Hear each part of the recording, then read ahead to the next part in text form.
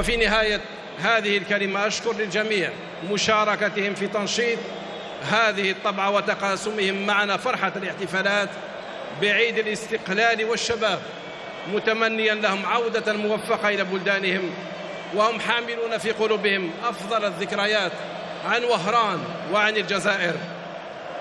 ولا يسعني الآن وكما جرت العادة إلا أن أعلن رسميا باسم السيد رئيس الجمهورية القائد الأعلى للقوات المسلحة وزير الدفاع الوطني عن اختتام الدورة التاسعة عشر لألعاب البحر المتوسط.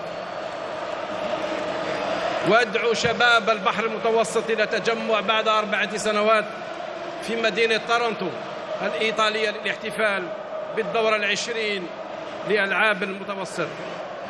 تحيا الجزائر المجد والخلود لشهدائنا الأبرار. والسلام عليكم ورحمة الله وبركاته.